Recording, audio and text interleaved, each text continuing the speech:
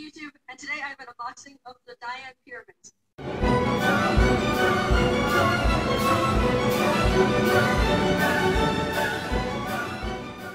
So in this video, I'm unboxing the DaYan Pyraminx, and I got this from the Cubicle, and I really can't wait to get into this because, as many of you know, I love Pyraminx, and this package is really easy to open. Okay. So I have Gans 357 stickers in here, which look pretty nice. So I don't really know what these shades are even called, but this is what I ordered. I think it's Fullbrights, pretty sure. So I'll probably be restickering my Gans 357 with that.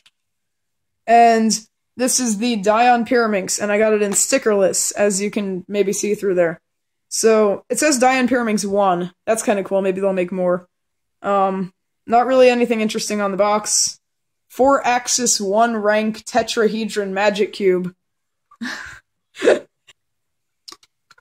so I what I've seen of this on on the interwebs is that um it appears to pop a little bit, but hopefully that's not too big of a problem.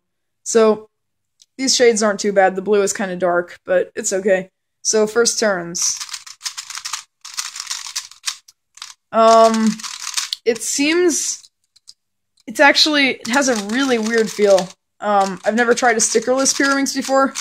I'm not sure if it has anything to do with that, but it's like kind of clicky, but it feels like it might be a little locky. I hope that's not, I hope that goes away with breaking in.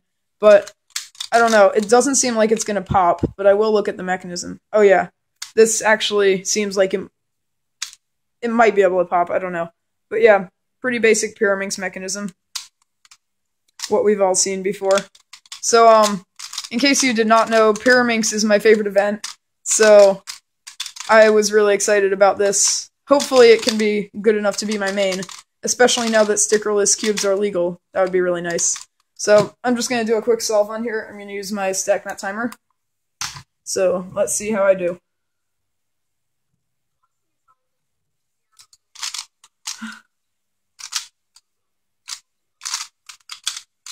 That was a really bad solve, 6.21, but it's kind of awkward with the tripod around here, so... but this actually is kind of getting better the more the more I turn it and stuff. It's actually pretty nice. So that's really all there is to say about this. There's not much to go over. Tips turn well. Everything seems pretty good. Let's hope this becomes my main. My Moyu is really nice right now, but it's actually locking a little bit, but it's a little bit faster in general.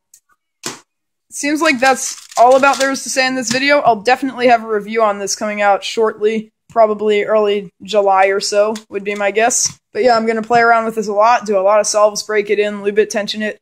Um, that'll be really awesome. Let's hope. So yeah, thanks for watching, and I'll see you on my next video.